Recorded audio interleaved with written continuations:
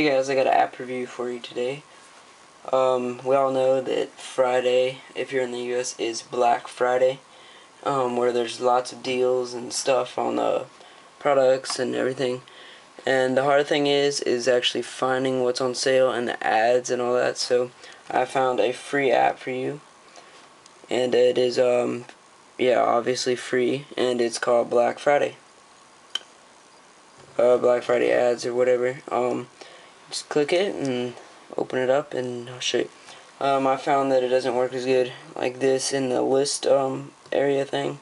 So I click grid and it'll show you all the ads for like pretty much major stores um, in my location.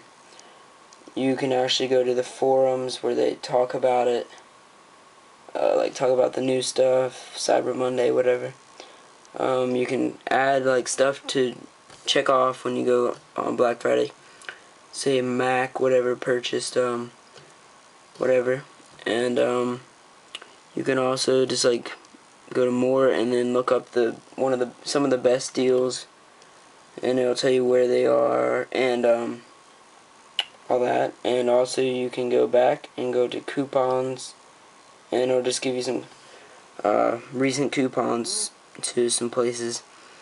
Um, this is a pretty good app for, to be free. Um, it'll help me a lot when I go on Black Friday probably. Um, you can actually search for stores, so search for Best Buy, I guess. Um, there's your B, so there's Best Buy.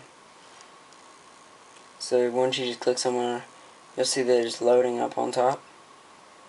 It does take a minute, so be patient like I'm trying to do now. Um, I guess my I think my internet's really slow because I'm downloading a couple of apps and stuff. So. Okay, so there it is, uh, Best Buy, there's an ad, and here's all the list of deals on Black Friday for Best Buy. So, it shows like every one of them, and um, if it's blue, you can actually click the link, and it'll take you to the website. So this was like a, a home theater set. So um, this is a pretty cool app. Um, it really will save me a lot of time.